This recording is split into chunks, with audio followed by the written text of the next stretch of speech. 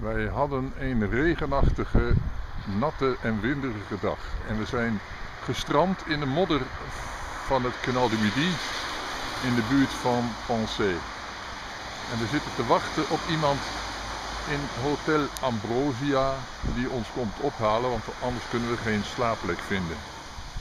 Daar staan onze fietsen. Nou, ik zal even een beetje dichterbij komen.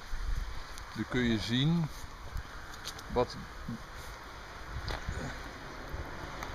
wat het kanaal de Midi met onze fietsen heeft gedaan.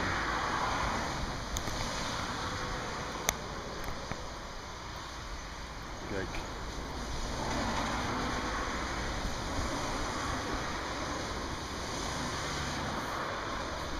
Dat is Josse fiets. De modder. Zit overal verspreid. En even een Else fiets. Kijk eens even wat daar voor een bende tussen zit.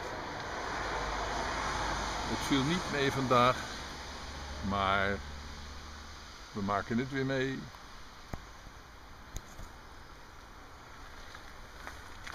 En dan dus tot de volgende keer.